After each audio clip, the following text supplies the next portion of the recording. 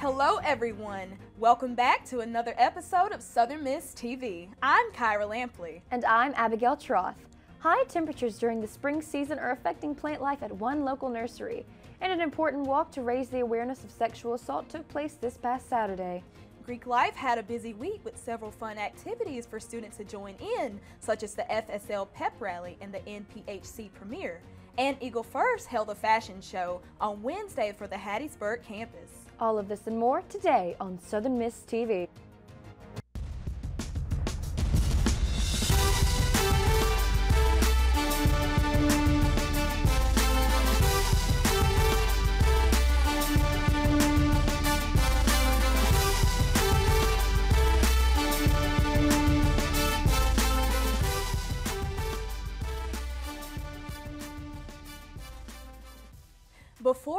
Begin today's episode, we'd like to take a moment to congratulate the winners of the Southern Miss Student Media Center for taking home 47 awards last month during the Mississippi Press Association, the Southeast Journalism Conference, and the Mississippi Association of Broadcasters. Congratulations to our winners. Spring fever is rising along with the temperatures, making it the busiest season for local nurseries. Eden on Earth Nursery off of Monroe Road started preparing plants for the spring season in November. Owner Nick Altmeyer said this season was a gamble with bad weather and supply shortages, but business has made a fast start. Where we were last year in sales, uh, we got a lot of stuff, and uh, you know Easter and Mother's Day is a big, big season, so I don't think it's uh, affected us yet. Eden on Earth has adjusted to the changing times by adding new plants to its collection of over a hundred species. Altmeyer says there's no such thing as a green thumb and encourages all to give gardening a try this spring. The NPHC hosted their spring premiere on Friday, April 8th. The premiere was the debut of new members into the Divine Nine. The Divine Nine includes the likes of Alpha Kappa Alpha Sorority Incorporated, Zeta Phi Beta Sorority Incorporated, Omega Psi Phi Fraternity Incorporated, Iota Phi Theta Fraternity Incorporated, Sigma Gamma Rho Sorority Incorporated, Delta Sigma Theta Sorority Incorporated, Phi Beta Sigma Fraternity Incorporated, Kappa Alpha Psi Fraternity Incorporated, and Alpha Phi Alpha Fraternity Incorporated. We, wanted to we want to congratulate Southern Miss Student Media Center reporter and Southern Miss TV sports director Austin Lindsay for becoming part of the Divine Nine. When we come back, SAPA and other organizations on campus host the Walk a Mile in Her Shoes during Sexual Assault Awareness Month, and FSL kicked off Greek Life with a fun pep rally for students. Eagle First debuted their first fashion show last week for the students to enjoy. But first, let's take a look at the five-day weather forecast. Your five day forecast segment is brought to you by Green Eye Midtown Optical of Hattiesburg.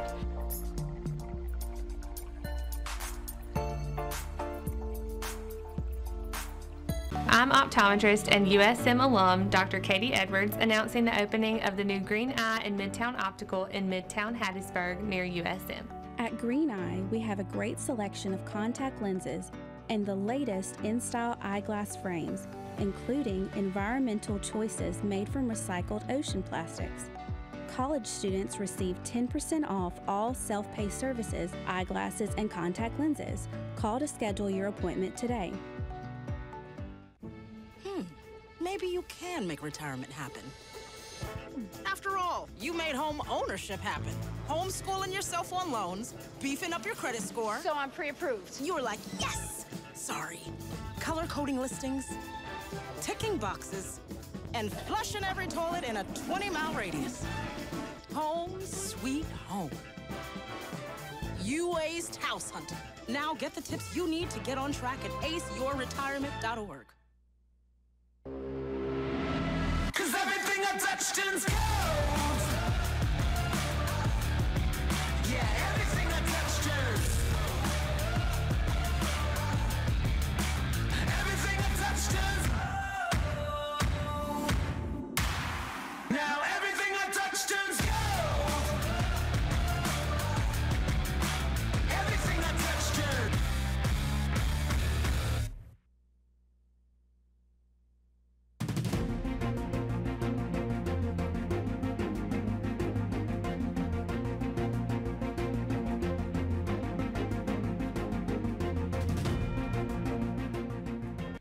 SAPA hosted a walk, in, walk a mile in her shoes, a walk to raise awareness of sexual assault during Sexual Assault Awareness Month.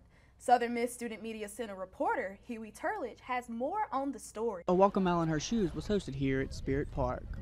The main idea was for fraternities to literally walk a mile in a woman's shoe. I have been a student here for a while now. Um, my freshman year, I was assaulted on campus, um, and that you know changed the trajectory of a lot of things for me.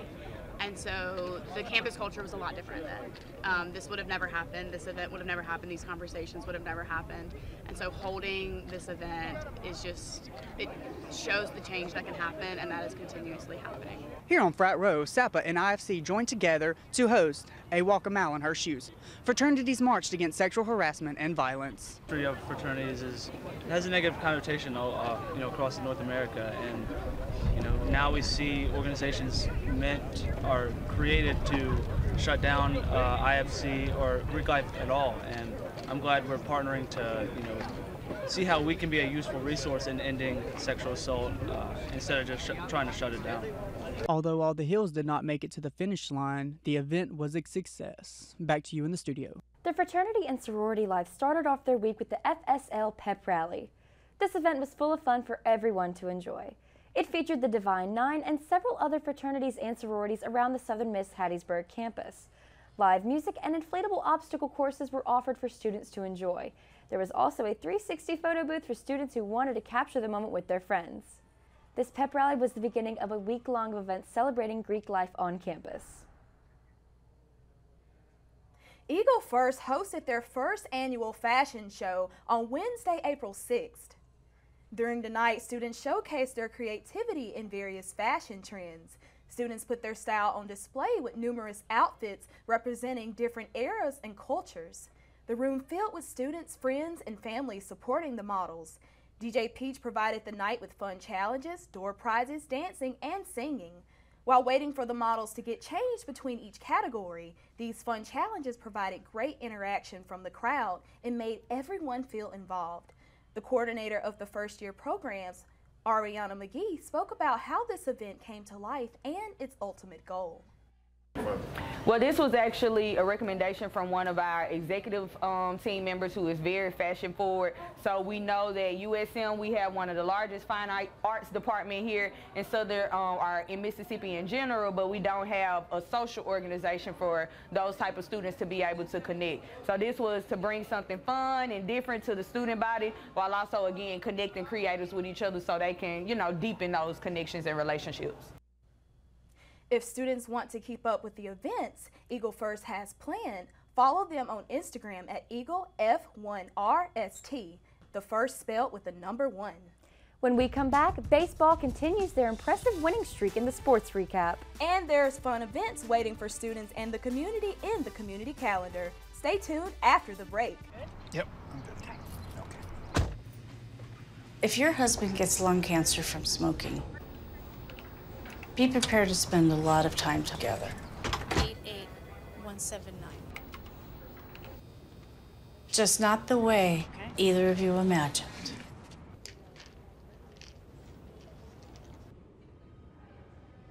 The people you love are worth quitting for. You can quit. For free help, visit cdc.gov/tips. At a time when misinformation is all too common on social media, we take great pride in bringing you the news that matters, that impacts your family, news you can trust. Local broadcast journalists bring you the facts, covering the stories breaking in our community and across the globe. Text TV to 52886 and let Congress know you depend on local journalism. This message furnished by the National Association of Broadcasters. Southern Miss Student Media Center is proud to offer local businesses an opportunity to advertise on SM2 Digital Media, WUSM Radio, Southern Miss TV, and the Student Printz.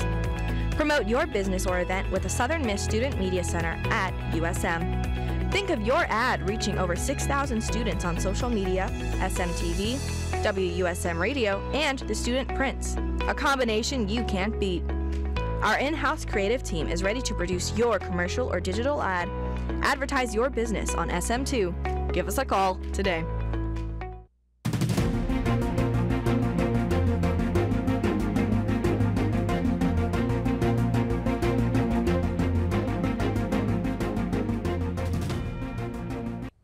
Once again, baseball and tennis continue their winning streaks over the past week, and we have it all in today's sports recap with Nathan Lee. Take it away, Nathan.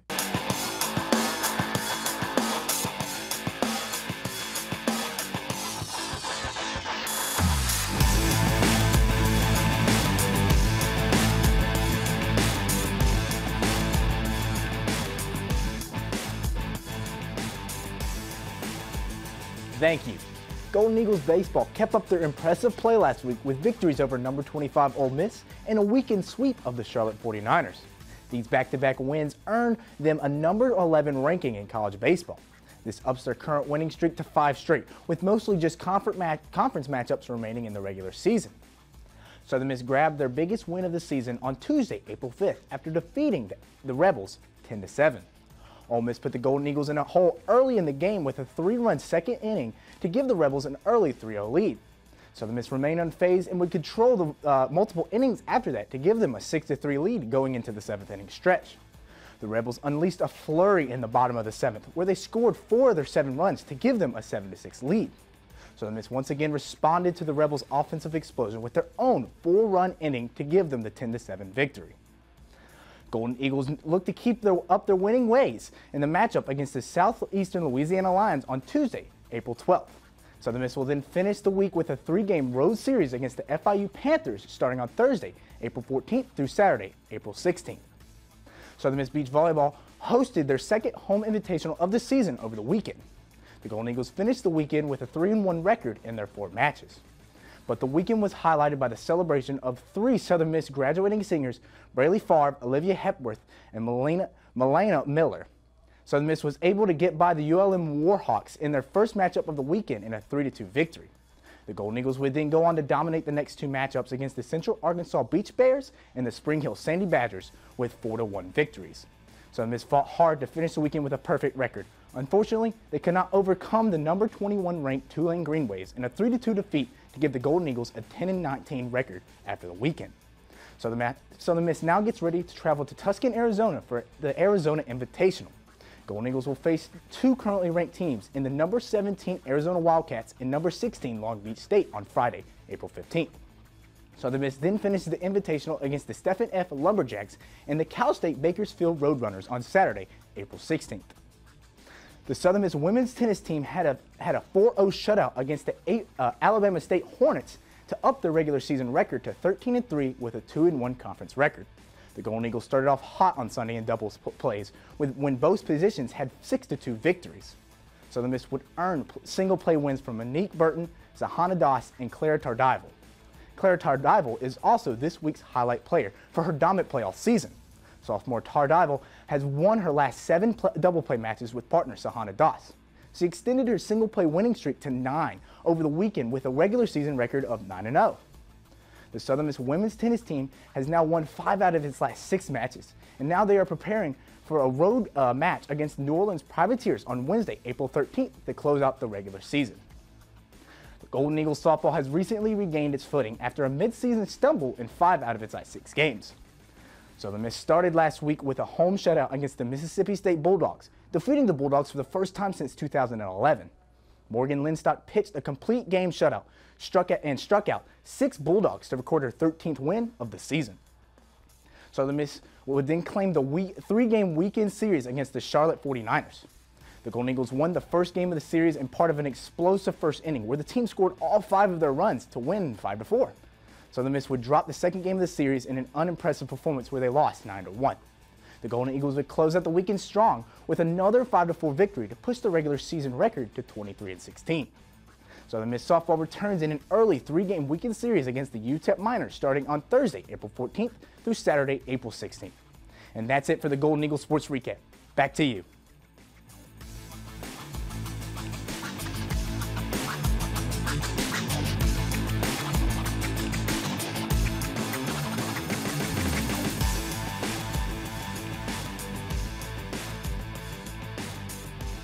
Thank you, Nathan. Now let's hear from our new community calendar anchor and all the fun events April still has in store for the Hub City. Take it away, Maya.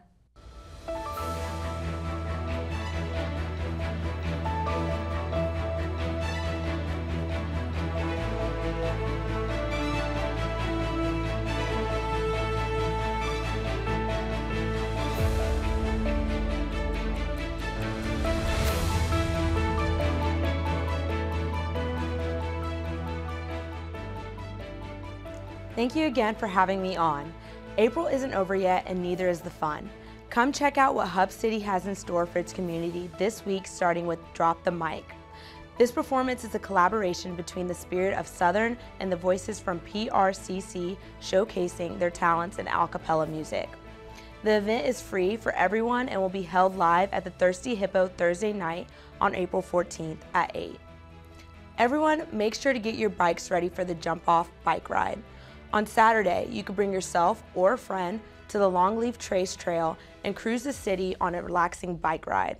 Food and drinks will be provided at stops along the route. Free mimosas and lounging will also be provided at the Nostalgia Bar. The bike ride begins Saturday morning, April 16th at 11:30. Pull-off starts at 12.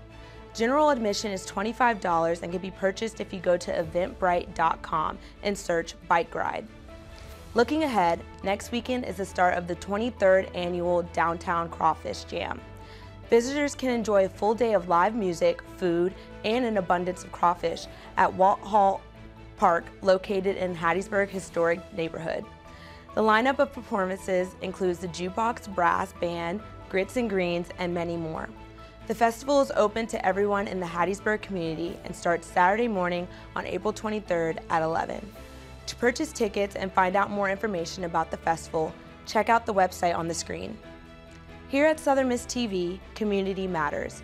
If you would like to submit your next event for the community calendar, please send us an email at sm2.news at usm.edu with your event details.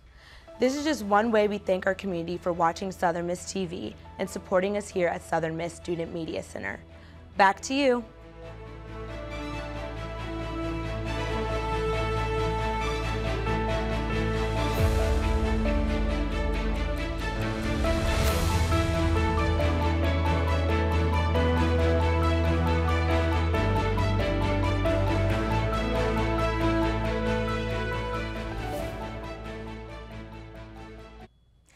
You, Nathan and Maya.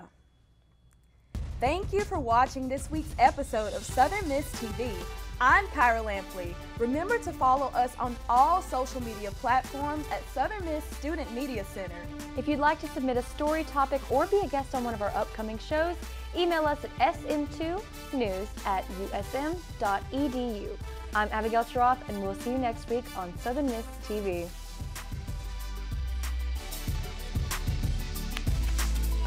You did so good.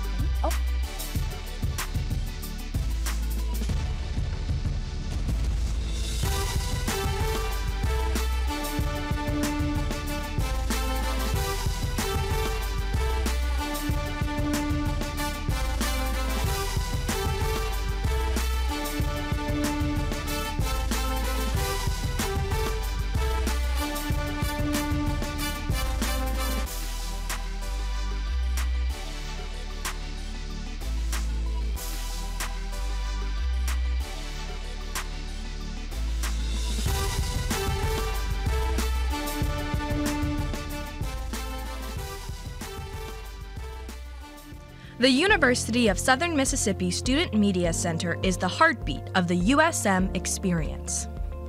The center is home to dozens of producers, writers, and visual artists of all types.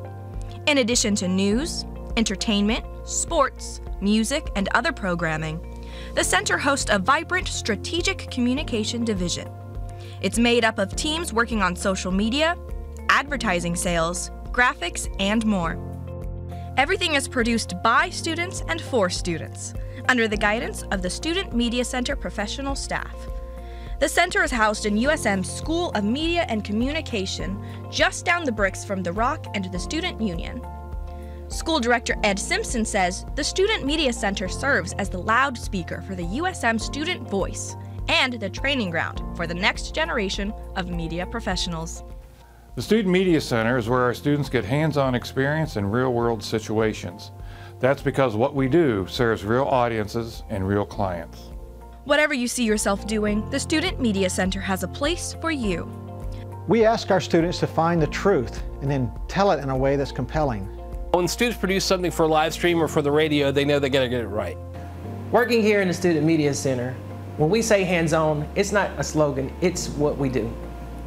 The Student Media Center is the voice of the Golden Eagles and home to the next generation of truth tellers, storytellers, and all those with the energy and desire to express their hearts in the fields they've chosen.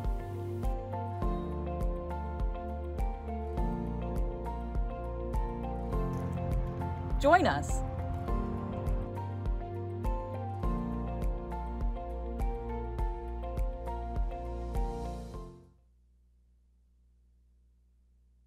Southern Miss Student Media Center is proud to offer local businesses an opportunity to advertise on SM2 Digital Media, WUSM Radio, Southern Miss TV, and the Student Printz.